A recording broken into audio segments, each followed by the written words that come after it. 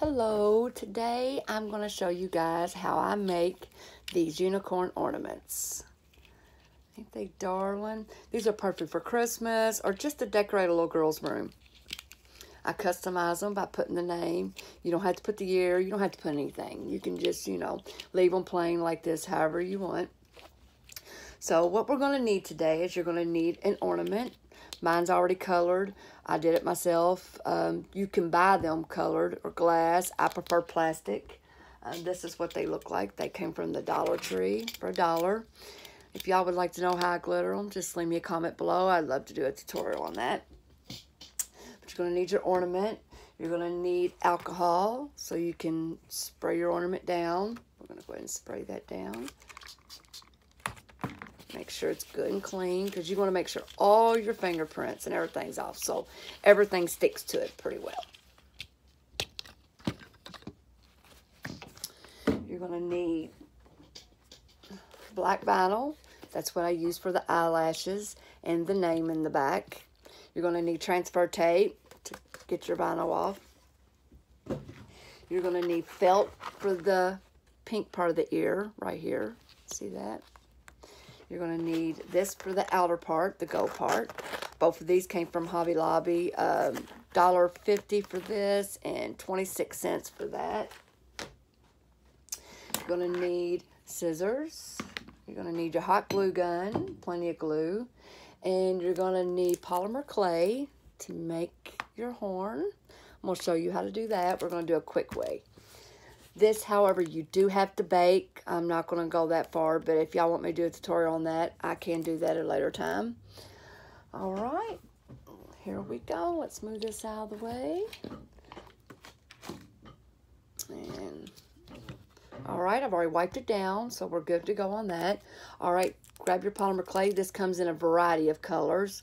Um, it doesn't matter to me what color I get because I color it myself. I mean, you can get it gold. However, it's not going to look exactly like this because it's been glittered and it's been sprayed. But you can, you know, leave it the color it is. Right, I put me a couple chunks out already. Roll it. Get it nice and soft because it's kind of like, you know, hard. You want to get a little room temperature.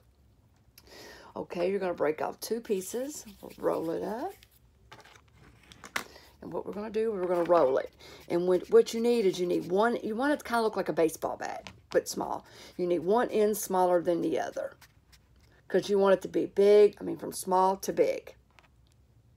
So it's going to look like that. So you need two of those.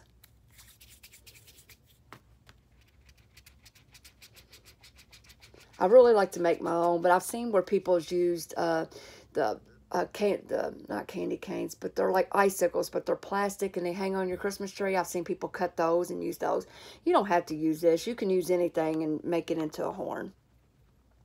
All right, these right here measure a little over three inches, but you're not going to need all of that. So what you're going to do is you're going to grab these two and you're going to pinch them at the top and we're going to start twisting and twisting.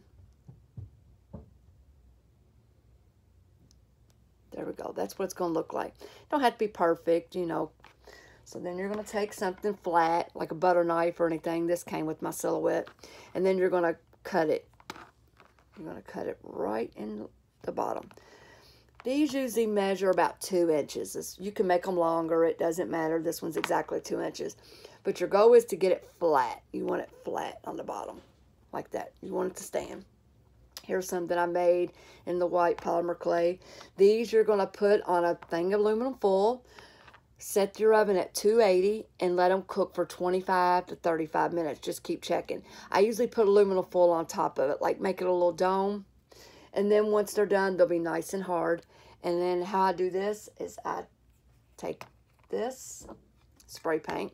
First I spray paint it. You can get gold or silver. And these will last you for years. I mean, it only takes one coat, I promise, and then it's the color you need.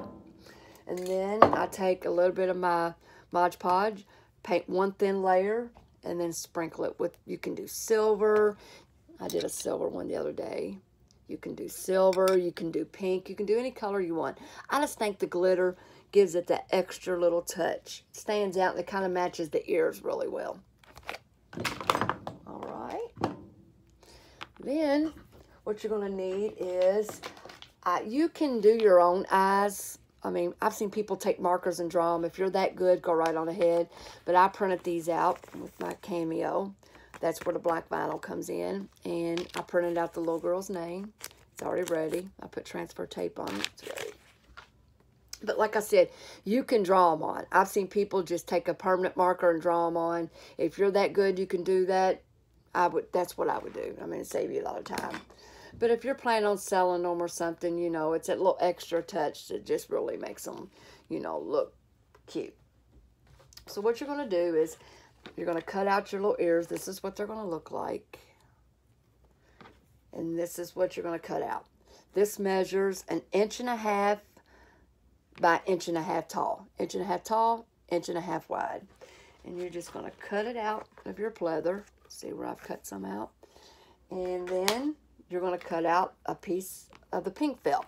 Now, you need a little bit smaller. So this is going to be about a little over an inch because you want it to hang over a little bit. See how that? You want some of that gold to stick out on the edge. And then when you flip it over, you need a little bit of this to be hanging off the end because that's what you're going to fold up like that to stick it to your ornament. So what you're going to do is take a little bit of glue and you're going to put a little bit of glue on here. Don't put glue over the whole thing because you want this part, no glue on it. And then you're going to take your felt and then you're going to put it right there on it like that. So you want some of the gold to show. And then you need that little flat. See that little flat? Because we're going to put glue right across there. You're going to put a little glue, just very little. Just enough for you to take and fold this up like that. See that little lip? You're going to hold it for a minute because that's how you're going to attach the ears to your ornament. It gives them, makes them stay a little better. Because, you know, sometimes kids, they see this and the first thing they want to do is grab them up and play with them. And you want everything to stay on. So, therefore, you got a little lip. See that? So then you can glue it flat to a surface and it's got something to hold on to. I've already got mine ready.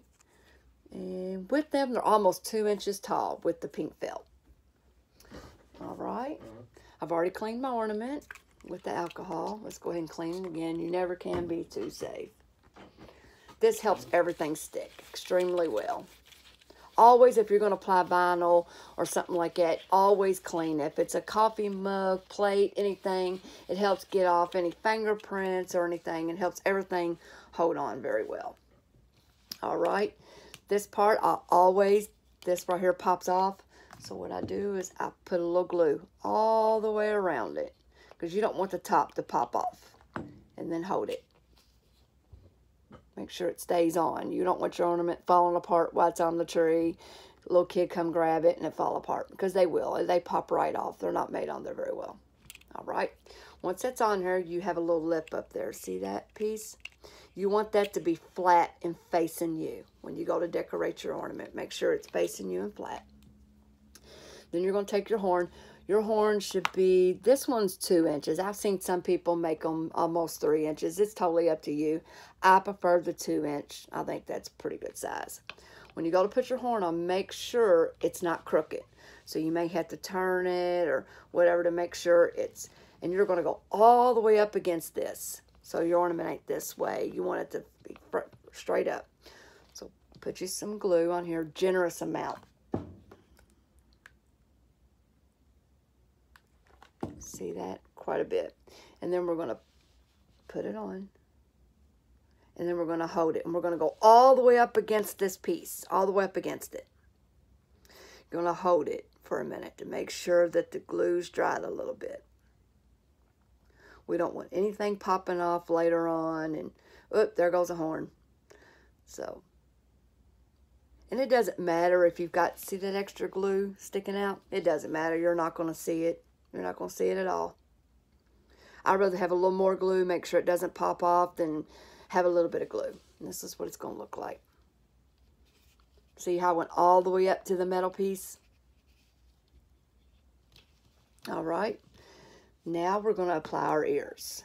Now we're going to put the ears not touching the horn, but enough where your pinky can go. So we're going to go about this close. You're going to leave just a little space right there, enough to where your pinky can go through. That little lip on the bottom, we're going to put glue straight across that. Not too much. One little strip should do it. And then we're going to put it on and then hold it for a second. Now, I take my pick that came with my Cameo, but you can use anything. And I push it down. I'm going to take it and help push, help push it down. Just like that. See how I'm going to hold that down? Don't take very long, it dries. One thing about hot glue, it dries pretty fast, and that's one ear. And like I said, it's enough for your pinky to go through. Don't want it right up on it, but close enough. All right, second ear. We're going to do the same exact thing. Not much glue, just a little. Same here, about a pinky size away from the horn. Hold it for a second to make sure it stays. And then we're to push it down. Make sure it stays on there pretty well. Everything stays pretty good. Actually, the hot glue keeps it, and then that's what it's to look like. All right. I don't add my eyes. Try to do my flowers. These are the flowers I'm going to use. I got these um, off eBay. Really cheap. They come in a, a long row like this. I think I paid 89 cents. And you can pull them apart. That's how they're attached and just cut it. All right. I'm going to go with the pink and the teal. I really like that. I think it's really cute. So I'm going to cut that off. So what you're going to do is grab your flower. Going to put a little bit of glue. And we're going to put this right up on that horn. I mean, right up on it. Like right there where that big blob of glue is. Put it right there. And hold it.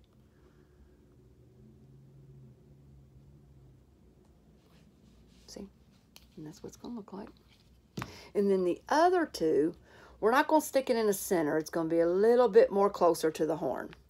Now these, we're going to do the same exact thing. I'm looking for the bottom. You can't really tell. All right. Here's the bottom. I'm going to gather it. Put a little bit of glue on there. Don't need much because these hold pretty well. And we're going to put it like, not in the middle, but just a hair over.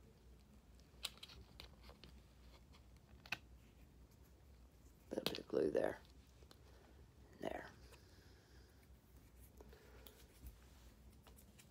All right, make sure that's held on. And we're going to do the same exact thing over there. This one's got a little bit of that mesh. These come attached to mesh, almost like shabbies. You can use any kind of flowers. You can use paper flowers. It doesn't really matter. Believe me, it'll still turn out cute. It don't take much for these just to be darling. Just use your own little personal touch. There we go. There's the flowers. All right. Now we're going to do the eyes. Like I said, I print all these out. I, You can get these. I Googled eyelashes, traced them. You can do the same thing. You can Google them and trace them on a piece of felt and glue it on. Whichever you prefer to do. So, these have already been cut. You take a piece of your contact paper, like this, cut it.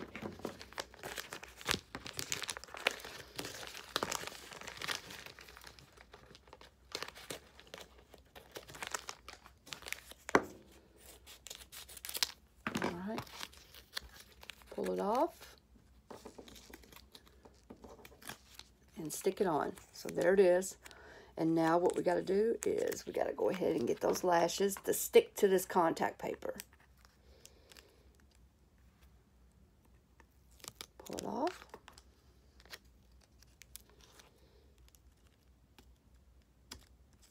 All right, this is what it's going to look like. All right, so you're going to go down, I'm guessing, let's see, about an inch and a half from your flower. And that'd be about center. You just eyeball it.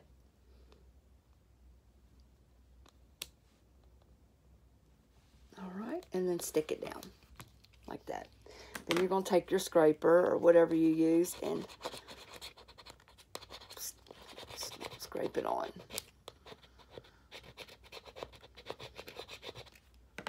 All right. Now we're going to pull. There we go. All right. Now, sometimes my middle flower right here, I like to add a little bling to the center. So let's find a little diamond or something to go in the center. You don't have to, but I think it looks cute. So we're going to use this little diamond right here. So I'm going to put a little bit of glue in the center of my flower. You don't have to, but I think a little extra bling. Everything looks better with a little bling. See? We need to hold it on, make sure it stays on there pretty good. There we go. All right. Now, we'll do the name. I printed this out. I'm not sure what font this is. I do believe it may be Play Ball. Not sure. All right. Go ahead and pull it off. Now, anytime you add a name or anything to something that's curved, you may have a little trouble getting it to stick. So what I do is, is I kind of eyeball it, so like right in the middle. So we're going to go ahead and stick the name on. And I'm going to start in the center and kind of like rub. Because we're going to work our way out. To the right, to the left, to the right. To make sure everything sticks. Because like I said, anytime you put something on a round object, you know, sometimes you have a little difficulty. But it can be done. And if you get a little crease in something, it's really easy to fix. If we get one, I will show you guys how to fix it. So we're going to kind of like start out, like I said, from right to left or left to right. Just smooth it. All right. And then we're going to take our little scraper and we're going to scrape.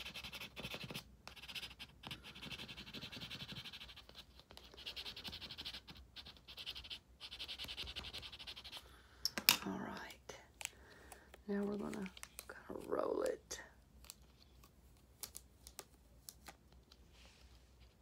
Isn't that gorgeous? And my piece of contact paper here, I will reuse it several times. I just stick it on my desk and reuse it. All right, we're almost done. I like to use my, I use ribbon as far as to hang it like this. I usually like to match it with my flowers. I think it just adds an extra touch. So with this one, we're going to use pink. This ribbon is one fourth of an inch, really small. Let's see. And I usually cut about 17 inches. You don't need that much. You can use less. It's totally up to you. Got to heat seal both ends because they will unravel. and then we're just going to pull it through. And then we're going to make a little bow. Go down a little further, just enough for it to hang on a tree.